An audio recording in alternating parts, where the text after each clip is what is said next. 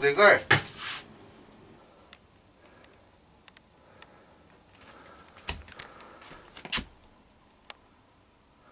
収納力たっぷり。奥行き4 5センチ。はい。ねこの奥行きが4 5センチ。幅が？幅はどうだろう。たタンスを買ってきました。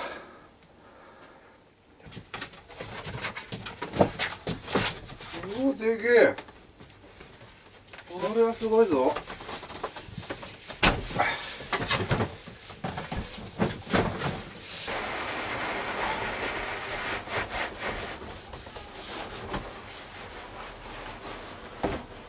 おおどうやって取る？お取れた。あーでかいこれよし最高や最高のタンスや。んオッケーオッケー。えー、はい。立派なタンス。幅60奥行き45高さ115ええたっぷり入る。はい。5段。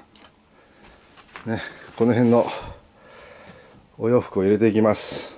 はい。トレーナー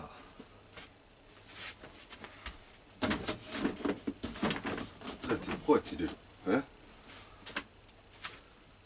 え？え意外と入らん？意外と狭い？あ？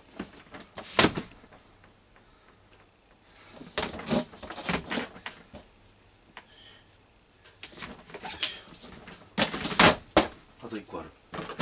靴下入れとくか。靴下入れとくか。一番下。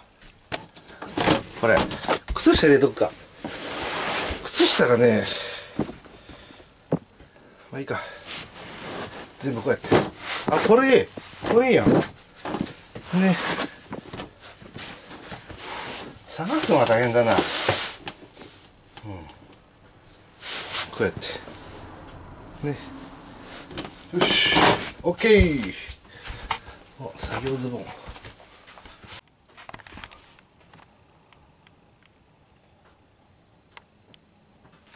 じゃーん。はい。全部入りました。うんあパンパンだ。あんま入れ入れすぎるとこれ上が引っかかるのよ。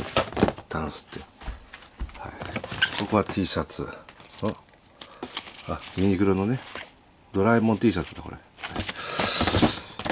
あそしてここはね。靴下。靴下靴下としパンツも入れようか。パンツも。ね。パンツもたくさんあるねこうやって。パンツも入れとこう。そう。はい。そしてこちらにはい広いスペースができました。はい。ね。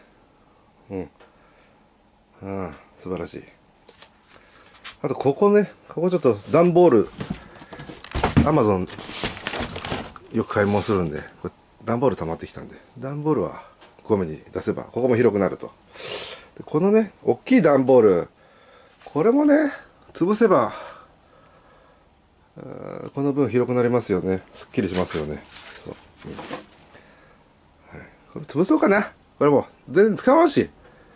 そう。こんな立派なあのあれがあるしラックが。はい。これはまあ引っ越しするときにねいずれ私引っ越ししますからこれ残しとこう。はい。これこれね落としちゃったんだこの鍋。鍋動画やろうと思ったんだけど落としちゃって棚からほら。ひびあひび割れちゃって。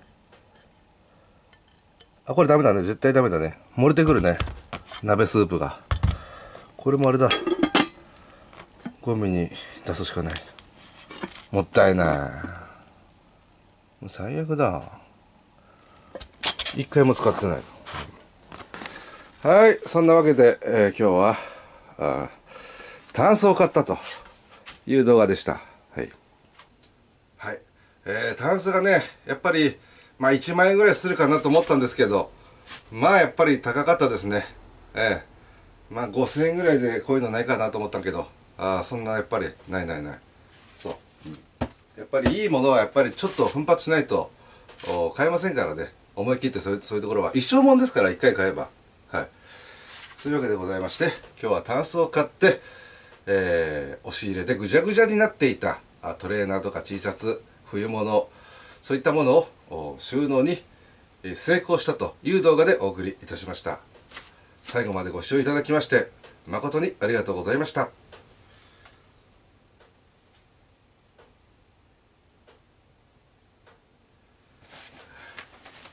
いわ